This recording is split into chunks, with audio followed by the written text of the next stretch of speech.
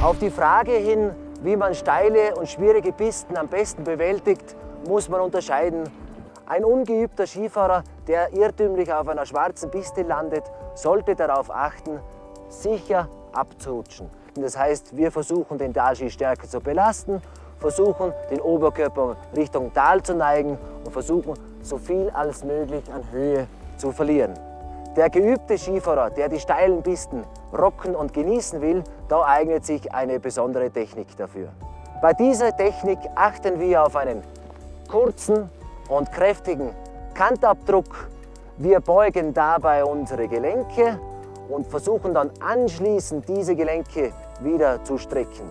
Durch diese Streckung und durch diese Vorbewegung, die wir da machen, hebt sich das Skiende und wir können dadurch die Ski leicht und schnell wieder über die Falllinie drehen.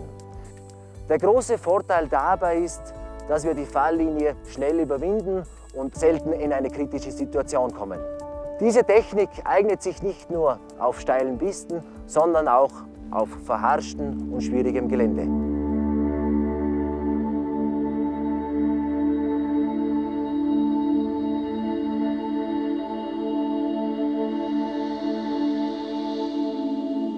Zwei Übungen kann ich euch empfehlen. Zum einen die Rutschtreppe. Wir versuchen dabei dieses Wechselspiel zwischen Rutschen und Kanten deutlich zu spüren.